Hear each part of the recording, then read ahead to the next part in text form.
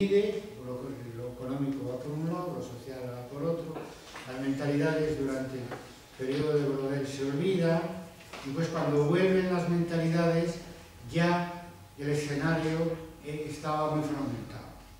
Ya eh, una gran parte de los historiadores, analistas, pues se ponen a hacer historia de mentalidades, otros se continúan haciendo historia económica, historia social, y después siempre, siempre incluso en Francia, ha habido historiadores que continuaron haciendo una historia puramente narrativa, cronológica, acontecimental.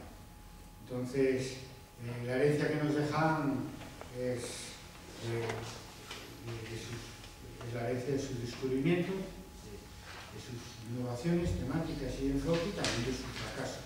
La escuela de análisis, y podríamos decir lo mismo del, marxismo. Pero bueno, hoy tocaba hablar de los comienzos historiográficos en Francia de la Escuela de Análisis.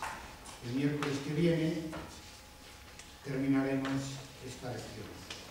Muchas gracias a vosotros y a los que eh, iniciáis hoy eh, pues, el seguimiento a través del canal Historia de Arte de YouTube de este curso Universidad de Santiago de Compostela en los meses de marzo y abril del año 2013 sobre mentalidades, mentalidad, identidad y género en la educación.